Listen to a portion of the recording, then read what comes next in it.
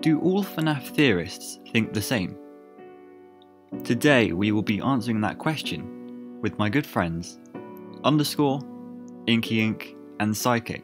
You may want to think about putting this in the background and doing something else while you listen to it, as this is going to be more of an audio kind of video rather than a watch through kind of video. you can also listen to this on SoundCloud and possibly Spotify, but I'll update you on that. Okay, so let's get started.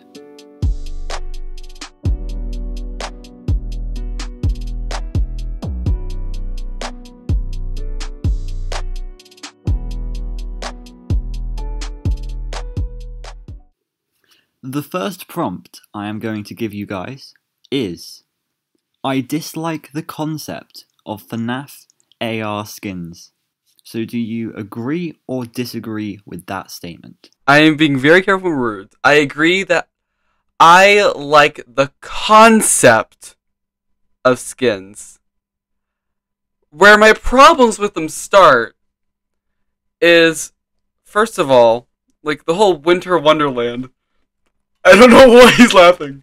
Uh, like every single character was ice. Now, like Ballora was like the best looking one, but like they were all ice. And also, having each skin cost what is it? How much how much does it cost for a skin inky, do you know? It's like fifth. It's like twenty bucks. Yeah, I don't know. If Wait, you want to just buy the hold on, did you did you say twenty bucks? I don't know. Maybe it is. Uh, Should I check? You should probably check because if that if they're charging that much for skins, I what I, don't. Yes. The, the Maybe that's point from is- Megapix. That, that that's where my problem. Like it's like it costs a lot of money just to get like the just like for like the little event, and it's like I don't know, like something about like like imagine like imagine like like okay, let's say hypothetically they're fifteen bucks, and there's and you want all of them from one like event.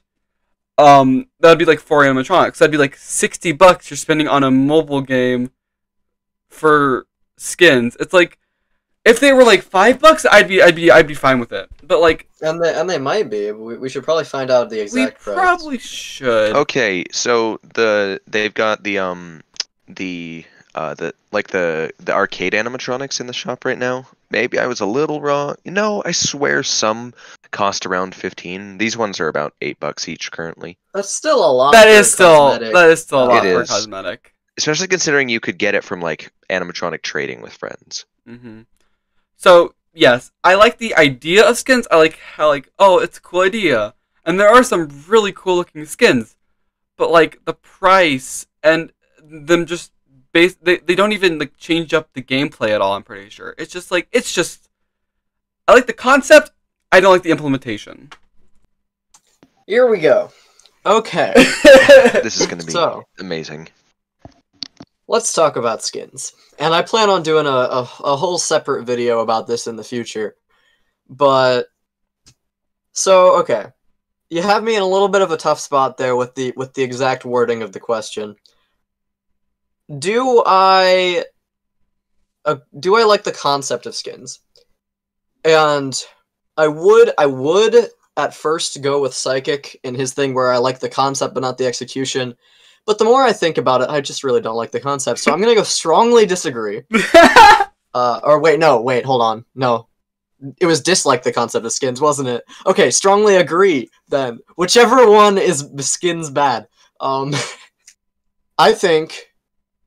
Well, first of all, let's talk about ideal skins.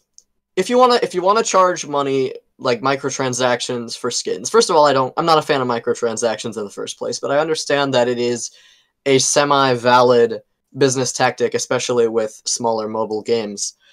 Uh, if they wanted to do skins, which, like, sure, I guess you can do skins if you want, keeps the game interesting. Why not use the plethora of variations each character has already instead of making crappy OCs? Uh, like it, it, it, it boggles my mind why like the withered the withered animatronics aren't in there yet, are they? Like that that's an easy skin for for the for the basic ones, I would say. Um, unless they wanted to go with completely different gameplay for each of them. The phantoms are another thing. The nightmares I think are a little bit more towards like separate characters, but a lot of there's still a lot of potential for canon based skins. But so with that out of the way, I would I you know, skins from a purely theoretical ideal concept would be fine probably for some characters. For other characters, take Springtrap for example, unless you want to do a scrap trap skin, maybe a glitch trap skin, there's not much else you can do without that breaking the intention of the character and the the lore behind it. And I don't think a lot of the skins are canon. Sorry, underscore. You know what? Uh, I really don't care at this point. um, you were you were you're kind of fight you were fighting a battle, and I, I respect that. You're f- trying to trying to make them fit, but I a, a lot of them I really don't think. I don't, Is- I don't think it works anymore. Anyways, I, I I could care less at this point. All right. So with that out of the way, let's talk about the specific uh, horrific offenses to the FNAF uh, to the FNAF gosh. image. Oh my gosh, how far this is this gonna go? uh, I'll, I'll pick out a few examples. Uh, let's see.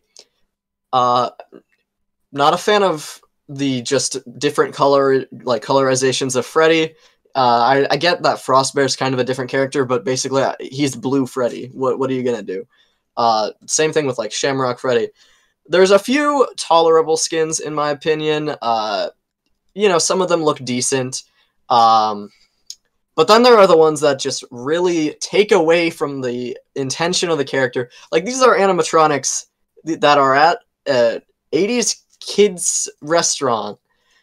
And they're supposed to look uncanny, they're supposed to be creepy especially at night cuz they're haunted and they're going to come kill you. And then we get skins like American Freddy. What are you I hate American Freddy so much.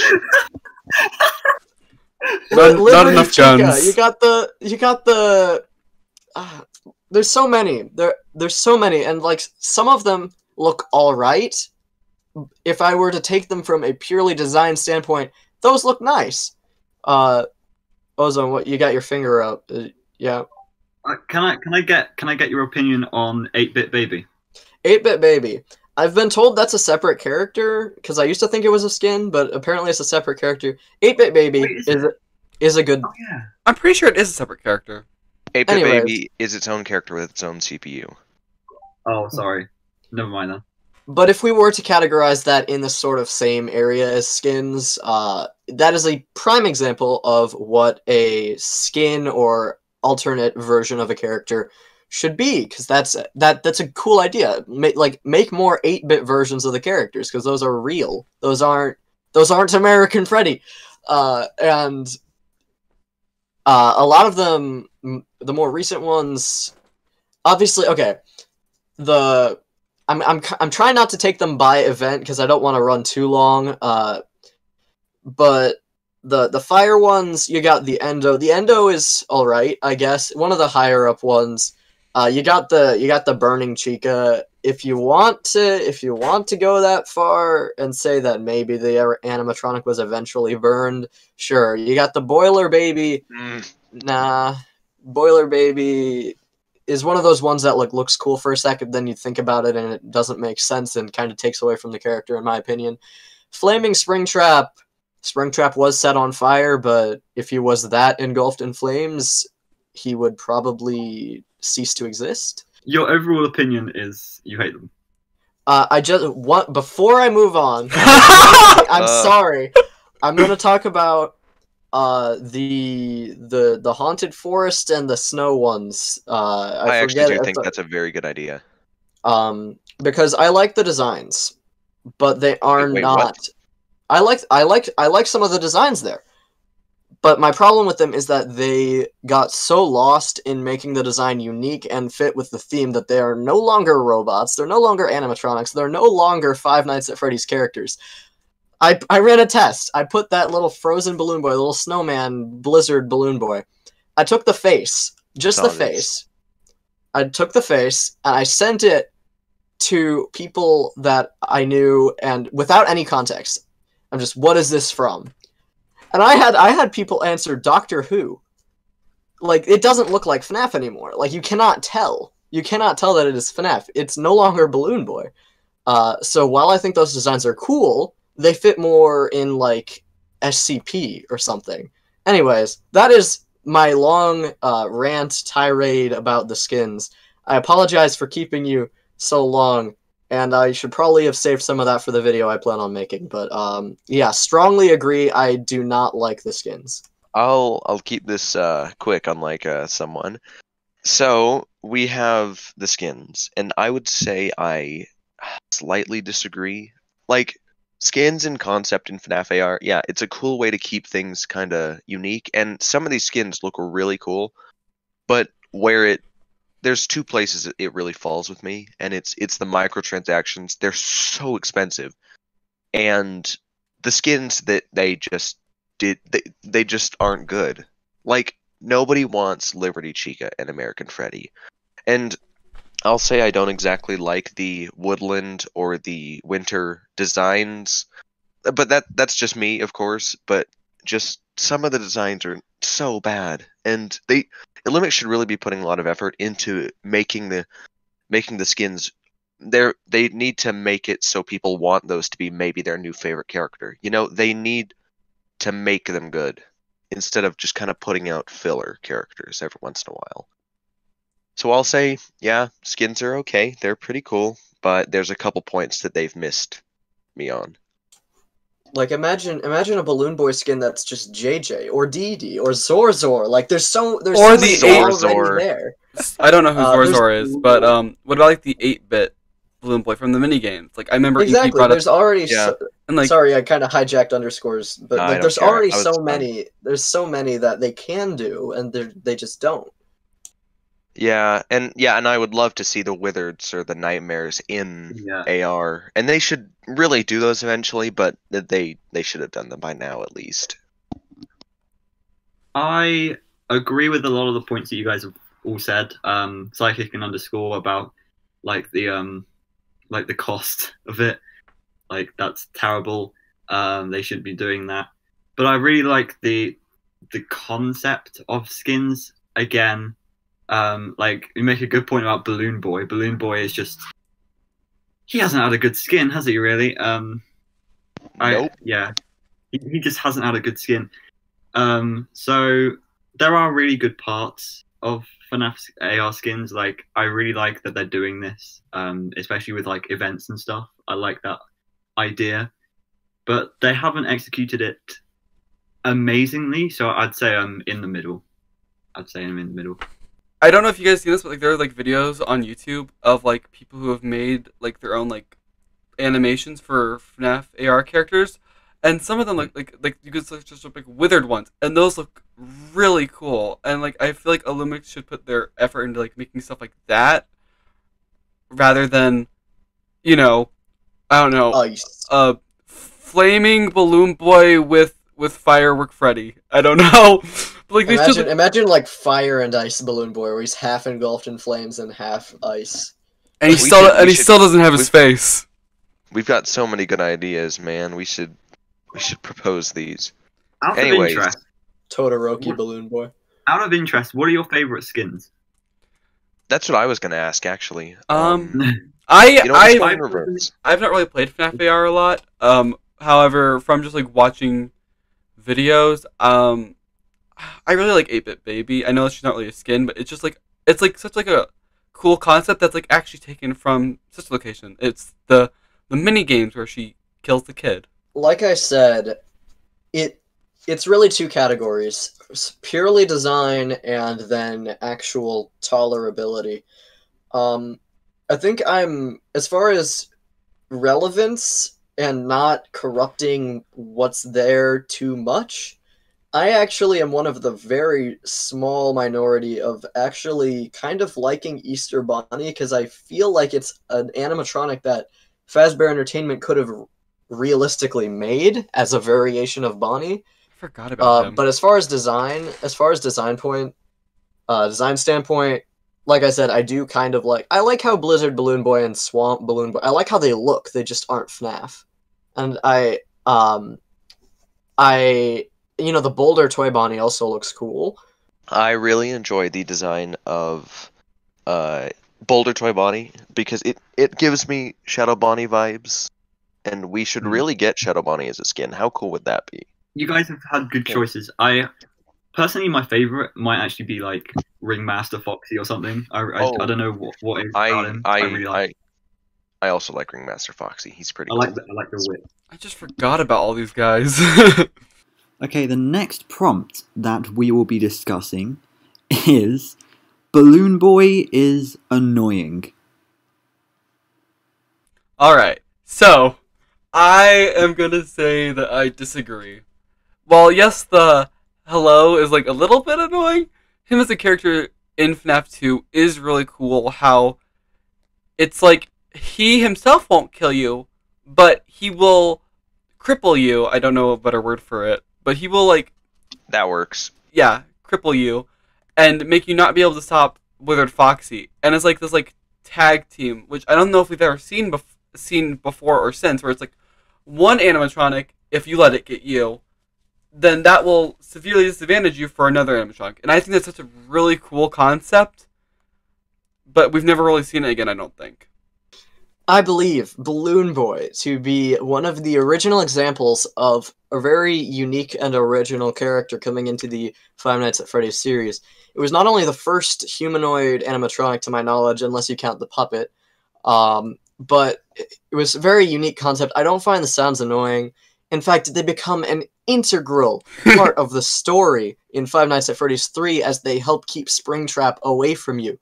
And while Balloon Boy can potentially be devastating to a run using his uh, swiping of your batteries, I think that he's pretty easily uh, fended off with the mask, and he's a very pleasant force that sort of chats with you as you sit in the office, laughing, laughing away, saying hello, having a nice old time with you.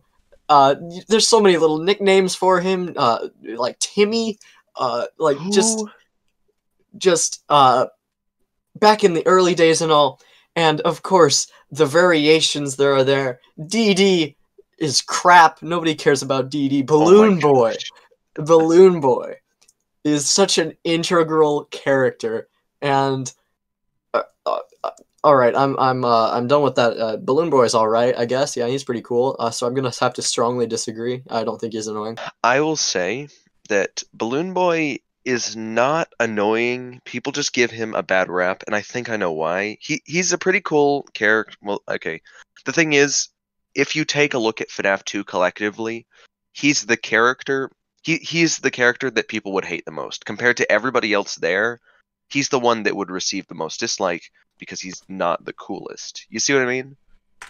So I would say people are just giving him a bad rep, and he's not a bad character. He's just not a liked character much. And then what's bad about this is that adding on to that, a lot of people really hate Swamp BB and Frostbite BB, including me. Illumix has not done him justice, I'd say. But I guess I'd have to disagree. He's not annoying. Like, there's nothing annoying about him. If he ruins your game, then that's your fault. But yeah, he's not. A, he's not annoying. Well, that's a really cool opinion, underscore. Strongly agree. Okay, I strongly I, agree. there's something about Oh wait, frick. Never there's mind. something about there's something about Balloon Boy's face that just makes me want to punch it. Um, so Nice. Inky, your point about him talking to you and saying like "hello," it's just it's it's annoying. It's like infuriating. It's mocking me. Like, just please go away. Also, he disables your flashlight. Like, like that, It's your- that's annoying. It's your fault for letting him in. Yeah, well, it's Scott's fault for making him in the first place. This is hilarious. this is great. okay, so the next prompt that we are going to be looking at is I like where the series is going with Security Breach. This one's an interesting one. I really like the fact that it's it's and we we all agree that this is all after FNAF six and Ultimate Custom Night. I like how Well, certainly. they've made it so there's a new killer and there's a reason why she's killing without just being oh it's purple guy again like I, it's more complex. Well yes it's like oh she's like possessed or whatever. It's still like like interesting and it's like it's kind of like moving past the first six games and onto its own new act i'll call it. Like you know like FNAF one through six like Act one, and this is now we're on Act two, and I like how it's like leaving that behind may still make references to it, like with the "It's Me" in Curse of Dreadbear, but I like how it moves on, and it it's really it's it's kind of like I remember like someone said this earlier. It's kind of like a start over, because we we to to learn about the lore of security breach and stuff, we don't have to pick through oh FNAF one lore, FNAF two lore, FNAF three lore, because we already know all we need to know from FNAF VR, and I like that. Uh, all right. I I've been pretty like back and forth through all these questions, but for once, I think I'm going to put myself in the neutral category. Um, let's see. I am interested to see what Security Breach does, and there are things that it has going for it, uh, like Vanny in particular. Uh, but I don't feel like we've seen enough for me specifically to be super excited for. Obviously, I'm excited for the game. It's probably going to be amazing, and I'm going to play it. Uh, but as for in general where the series is going, I don't think I have a good enough read of what's gonna what's gonna happen. I do like that it's a bit more simple. I'm not quite the biggest fan of uh, the the Glamrock animatronics in particular.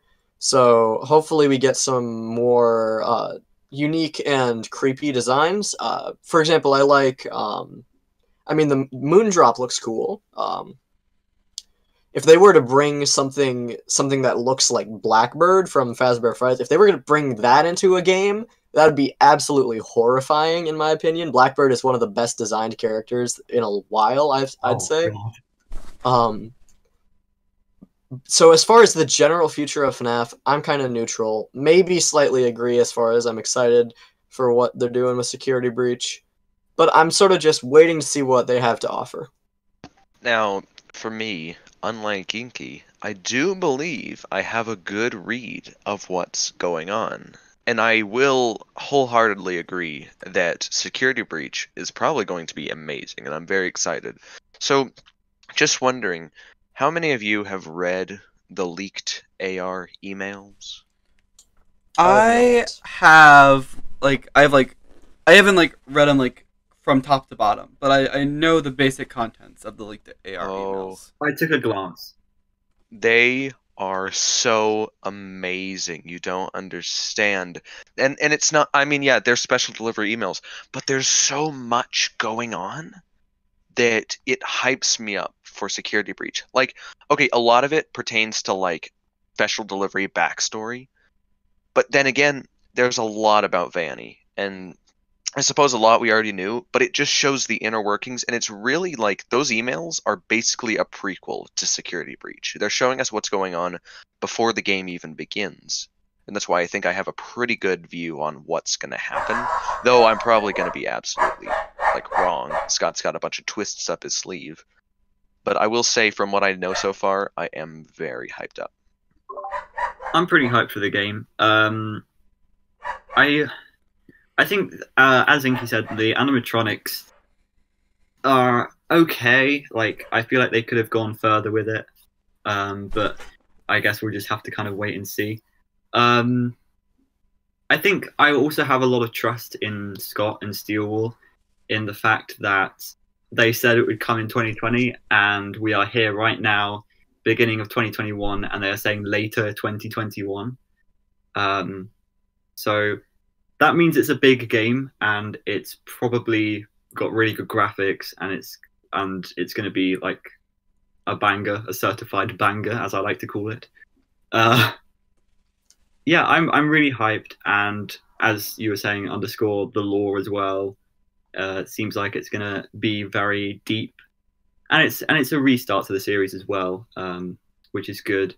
What I will say was like, oh yeah, is I had a few comments on my videos saying, "Oh, I hate where the lore is going because Henry had this amazing, massive speech at the end of FNAF Six, uh, and then it, all of it was ruined because William Afton came back." Um, and I, I, I sort of agree with that uh, in some senses because it was an epic speech. We we all have to Yes. like best video Of game. course, of course. Best Ever. video game. ever. like one liners like um, that are like if you if you could said stuff like, uh, "There's a special spot in hell for you. You don't survive that. You're not supposed to survive that." I know.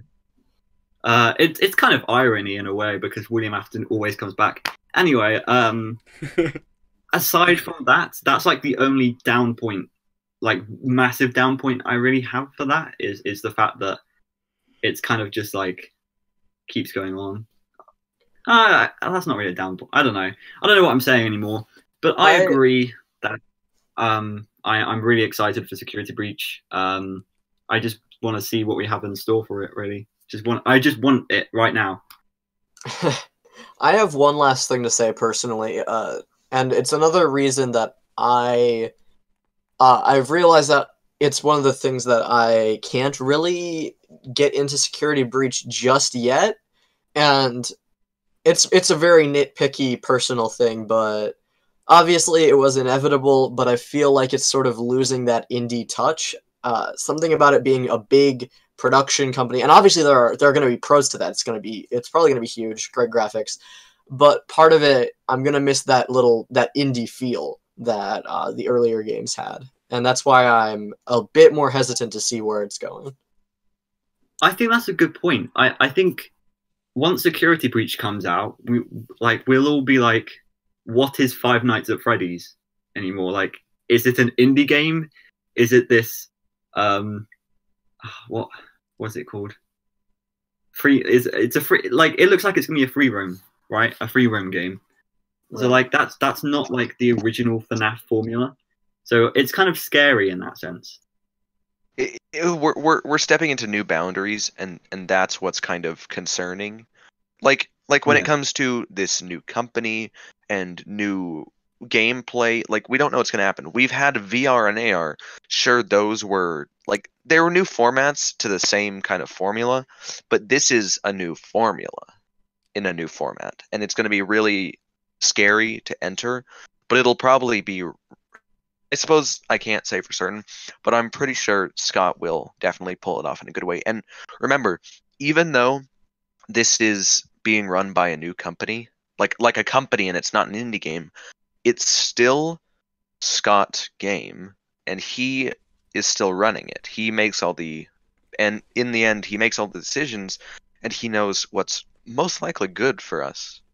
Has he really made but okay, let's ignore AR. Has he really made many mistakes? Because AR is the only game he's really left the company to care about more. What? Oh, oh, okay. um, I was about to say like don't dissing down. um, I'm not. I I'm mean, not dissing FNAF AR. World was like a learning experience. I feel like The next Okay. one was something. yeah.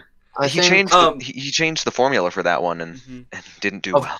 of course, I don't want to I don't want to try and invalidate Scott's work here, but Yeah. obviously um some t- obviously uh it can't re- one of the reasons it can't really stay that indie feel forever is because uh he he did try and sort of get it he, it ended up being a little bit too big for the the way he was doing it you know like uh an easy uh thing to point out especially like somewhat in FNAF 6 and especially in Ultimate Custom Night was like jump scare quality with the Mhm. larger Yeah. with the larger scale, the larger ambition, the technical hardware just couldn't really support that anymore. So that I understand uh, going to bigger and better things, but um, yeah, you're you're right. Scott hasn't really when it's when it's just him, he he does deliver, and so when when we broaden the scope of things, I'm I'm a little. I mean, I wouldn't say concerned, but I'm a little hesitant. So I have a point when you guys talking about changing the formula. Um, well, yes, free roam is like so far from FNAF One. I feel like at some point it had to change because I feel like like you can't do the same thing forever. It'll just become boring and stale. And like with each Yeah, like I- I the jump scare quality, like in like FNAF Six and FNAF Ultimate Custom Night, it's just like it wasn't as good and it wasn't as scary. And I feel like he's done a lot of like the whole sitting in an office. Like he did that in all all seven game, all eight games up to this point. If you include, Well- um, if you if you include um, Custom Night from Sister Location, then he's done right, yeah. then he's done a version of that in every single game. So and Like- it might even appear in this game, which is okay. but it has it can't be the same thing over and over again. Otherwise, it it becomes stale. like c- consider this he basically yeah he's hit he's hit he used all he could he did all he could basically and he's hit his point like ultimate custom night was the breaking point for how far he could go and now that he's hit that he needs to kind of get this other company on board to kind of go farther than that Right. Yeah. and also i had an idea consider you know how um for, for like talking about free the possibilities of free roam you know how uh gregory is kind of chilling inside of glamrock freddy Yeah. consider that will either be either glamrock freddy or montgomery run like running away or hiding or will be vanny so either way we'll either be be chased or be the chaser Or maybe be both. Like um or I, something. I could see both. I could see perspective shifts in the game, which would be really cool. But but just consider, we'll either be we have to be one of those two. We'll either be being chased or we'll be the one chasing. maybe we're either Vanny or Vanessa. Or Uh, that's or a, that's you know what? I that's a plays- whole I wouldn't mind that. everybody. I wouldn't mind that. I would I would actually really enjoy like it being like, oh, you can pick where, whether to kill the kid or protect the kid. Yeah. Like I feel like that would be such a cool thing and get like two endings. That would be so we need- cool. We need to have one canon ending though. Like one of them needs to be like Yeah. like the sister location fake ending. Mhm. I think an interesting, I think an interesting thing that they definitely could do, and I think would be a really interesting concept. And I'm let's let's not get too into just security breach speculation because that's not really what's happening with the video. But I think an interesting thing is that maybe for like uh, some whatever like daytime segments we play as uh, Vanessa, and going off of the assumption that uh, Vanessa is Vanny, which I strongly believe. Um, I think maybe the other segments, I don't know if it would be day and night, but the other segments, we'd be Gregory trying to escape Vanny, and then there would be the big reveal that the char- the other character we've been playing as is the one working against the character we're also playing as. Wait a minute. So, elaborating on that nighttime and daytime kind of thing, we have the yeah, sun. I we have, that. I was we thinking have Mhm. we have the sun and moon animatronics. Sun drop or moon drop and sunrise. I assume. I, it has to There's be al- sunrise. It has I've- to be I've its al- name. sunrise or sun uh, something i don't know but i've always considered this jekyll and hyde kind of thing we Mhm. we have no idea Yeah. if vanessa is is just like vanny in hiding or if vanessa is like a completely different personality to vanny Right. Let's not get too into that. yeah Yeah. yeah, Um, save I, all your thoughts I do want to say, I do want to say, I think Scott should make a an Among Us ripoff where there's ten Seriously? Vanessas and one of us, one of us is a Vanny. oh that would be funny That would be amazing. yo we need an among us security breach map yes. oh, Let's do That- it. Let's do it. if they collaborated, that'd be so cool. Imagine if it was multiplayer. That'd be so cool. i Okay, so well, funny. would be cool. They could do like a mode with the map where they do Vanny versus kind of uh, animatron. Like, yeah, multiplayer. I could see it being a thing. I probably wouldn't like it, but I could see it Super. Smash anyways. Bros. No, Yo, we we we are gonna play Mario 3D World online when it comes out, right? no. Anyway, Super FNAF Bros. Super FNAF. Wait, wait, Alright. wait. Predictions. Oh, Will security breach end in a fire? that is. that'd be very. you know what? be That is funny the question did. everybody wonders. Y- You know what? I'm gonna Does- say yes. like, I'm gonna say yes. I, I, I'm gonna say 50-50. It could. It has potential. Imagine the final level is escaping the building. Okay, so consider this.